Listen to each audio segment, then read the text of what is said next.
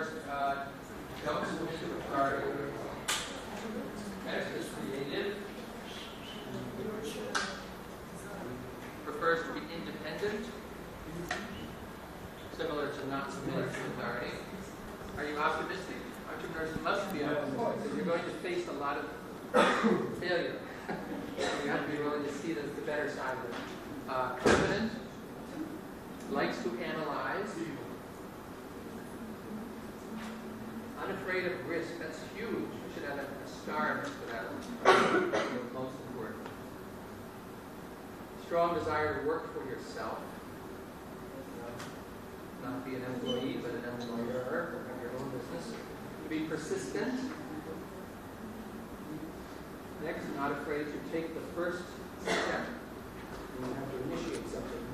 You may have an idea, and when you announce it to the world, or your wife, or your neighbor, they'll look at you like you're crazy. So you have to be willing to just believe in what you've thought about, take the first step to realize it. Comfortable making decisions. Entrepreneurs are generally sort of loners, and they have to make decisions early and make decisions in the beginning because no one else has thought of this particular idea. Uh, comfortable multitasking, comfortable managing others. Once you start a business, you're going to have to have help.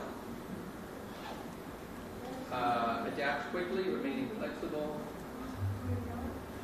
This next one is interesting. Financial security is not important. I don't know if you think of entrepreneurship as a great way to make lots of money. I, I don't know if it has that reputation.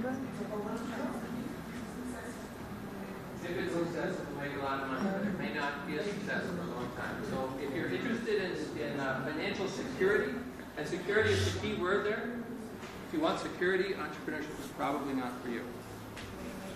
Uh, you have to be persuasive, selling people on your new idea. Visionary means you want to see new things in the world.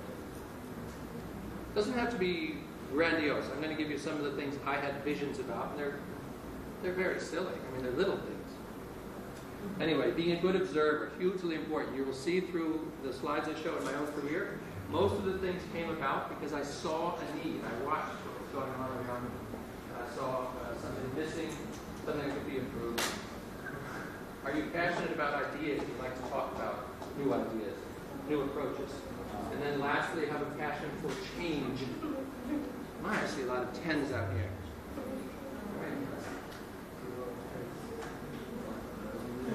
Let's see. Oh, just a, just a question of curiosity. Can I have your attention, please? Uh, how many of you here, honestly, would like to have your own business, meaning you want to work for yourself? You've thought about this? Or, really now? This is an entrepreneur class or what? Uh, Did you have the wrong name to this class? I'm, I'm impressed. It's the Macedonian way, I suppose. That's quite impressive. I wanted to mention, I'll reward you. No, I don't know how many that was. Raise those hands again. It was half. Between a third and a half. I wanted to warn you though, most entrepreneurs do not have uh, pension. You all know what Що pension ви is. нас? Can I have your attention? Next is uh, insurance. We all need, right? Medical insurance.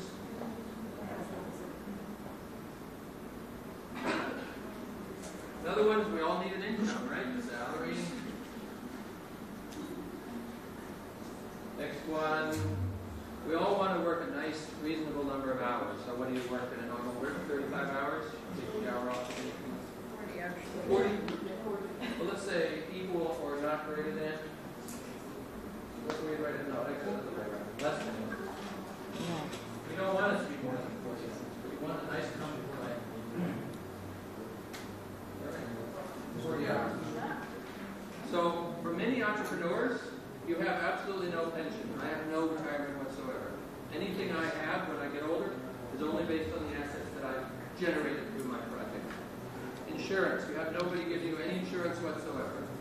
I have to buy my own insurance. Sometimes that's difficult. Salary. In general, I have no salary when I start a business. I don't take income out of it. Uh, and often as an entrepreneur, you have to go without a salary for considerable amounts of time while your business grows. Working less than 40 hours is virtually impossible have no pension, no insurance, no salary, and you work a lot more than 40 hours for getting paid nothing. So, can I ask again, who really wants to start doing business? Ah, I'm impressed. It's a little slower going up this. I just thought I'd give you a fair warning. Of course, the rest of the, the class, I'm going to talk about the wonders of being an entrepreneur and how wonderful it is. But I wanted to have that sort of that disclaimer at the beginning.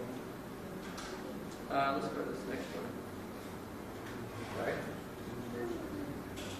Oh, it's kind of a long. I'm sorry about this chart. It's not appropriate for a classroom. Well, let's. I'll just read the, the first half. It's about the advantages of the entrepreneur.